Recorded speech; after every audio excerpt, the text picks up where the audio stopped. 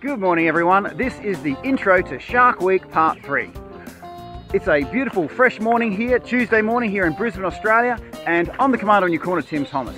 Now, I made this video series a little while ago and news just in, less than 24 hours ago, I had a bull shark charging at me.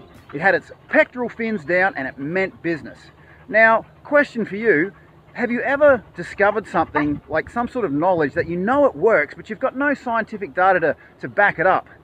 Now I've been diving with sharks for 25 years and in the instant I was just talking about about the bull shark charging in I was 26 meters underwater.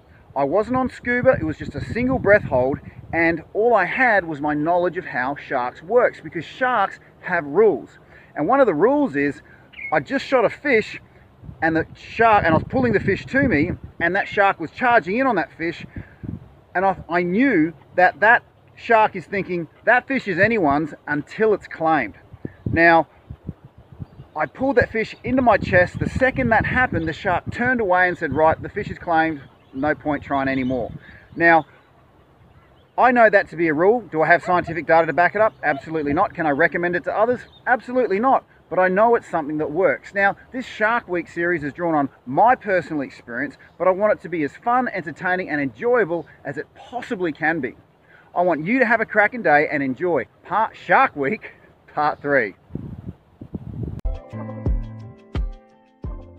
This is video three in Shark Week series of videos. Today is about fun facts and how that fun fact helped me have a positive interaction with the largest shark I've encountered.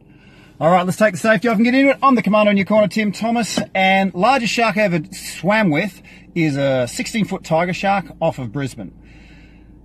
Fun fact about sharks is they have a sense in their snouts called ampullae of Lorenzini. It's like a really sensitive metal detector for electrical impulses. They can sense your state of arousal. They can see through you. So if you're stressed, they see that. If you're confident and aggressive, they see that too. So this shark has swimming up to me. I just shot a fish, so he's coming to check it out. He was pushing on my social bubble. He was circling closer and closer. And I thought, well, I've got to push on his social bubble because if this guy disappears and then reappears in an angle I don't expect, I might get a shock. And then he might think, oh, that's food and chomp. So I thought I, am better off being close to this animal. So I swim out to it and I sort of stay in his shoulder and I start nudging him into wider and wider circles. Now, I had to be aware of my own energy state because he would have sensed that. So I was swearing through my snorkel to try and keep fear away from me and to keep the aggression up. So he would sense that if he was to go me, there would be a chance he would get injured. I just wanted to put a doubt in his head. Now, I was in the water for three or four minutes, felt like half an hour, but there were times of absolute beauty. This thing was that big, it had the sun rippling across its back. I saw the, the, the fin raising above the waterline and quietly slipping underneath. It was, it was almost spiritual in its, in its context. That's all we've got time for today. I hope you enjoyed this video. There's more to come.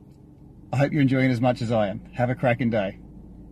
Now, before you go, I just wanted to show you that fish that the shark was actually trying to grab off me. You know that bull shark that was charging in? Have a look at this. This is a Queensland tuskfish. It is as beautiful as it is tasty. Have a look at that iridescent blue tail and that detailed work around the mouth.